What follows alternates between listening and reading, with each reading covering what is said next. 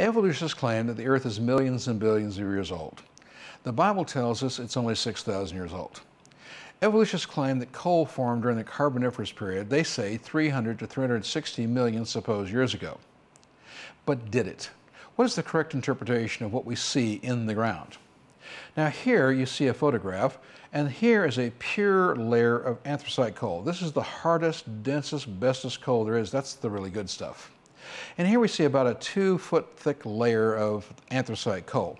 Now you only find coal and oil between uh, sedimentary rock or layers of dried out mud.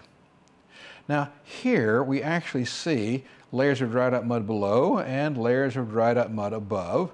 And you only find natural coal, natural oil, natural gas between layers of sedimentary rock or between layers of dried out mud.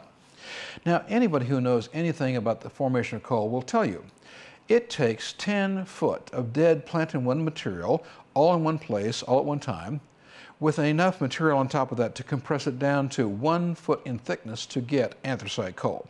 So you have to take 10 foot of dead plant and wood material, compress it to one foot to get anthracite coal. Here's the problem for the evolutionists. You see, in the states of Utah, Colorado, and Wyoming in the United States, we find pure layers of anthracite coal 200 foot thick, and below that, 300 foot thick.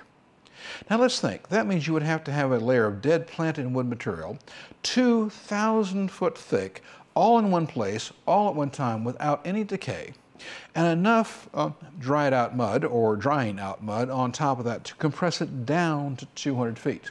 Or you'd have to have 3,000 feet of dead plant and wood material all in one place, all at one time, with enough material on top of that to compress it down to 300 feet to get these coal seams that we find in the United States. I would suggest to you only a worldwide flood can do that.